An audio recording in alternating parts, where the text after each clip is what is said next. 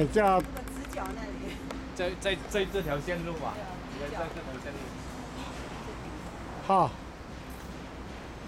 叫三三角窗的地方。哎 OK，哎对对对，三角三角形的地哦方就是我们在的地方。那蓝蓝色这一块就是领事馆。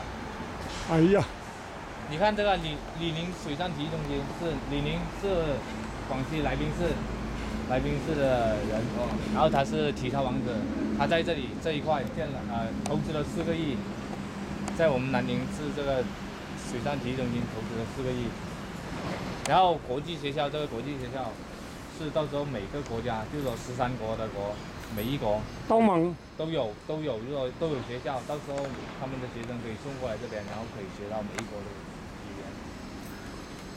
然后这这边这一块呢，这一块的话就是就是啊，应该是绿橘色的，橘色的吧？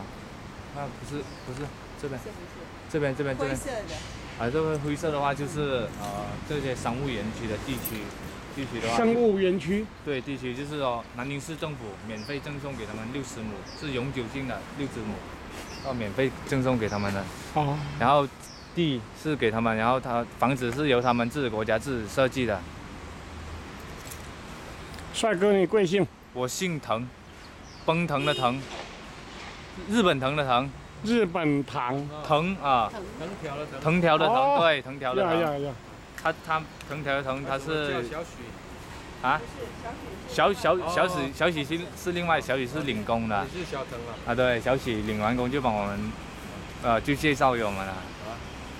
这些基本上都是这些呃，这些基本上都是一些住宅区。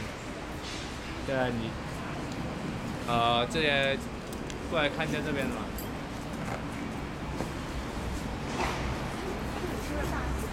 大使馆区，它这里没有标标这。里没有标，对到啊，待会会经过，会经过。这些就是他们十三国的联络处，好，十三国的联络处。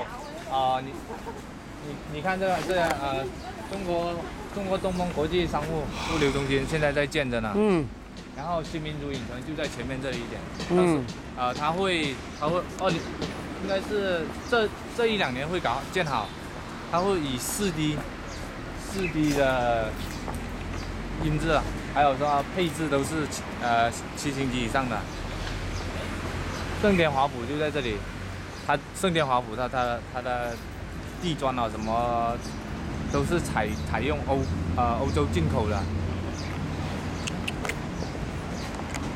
东盟保利第一街就在上面这里，东盟保利第一街是不在印尼、日本、泰国、老挝、文莱、缅甸、菲律宾、越南十二国对，。在到等一下我们都会经过这些商务园好区的，只是带你们过来看一下。谢谢你，小腾。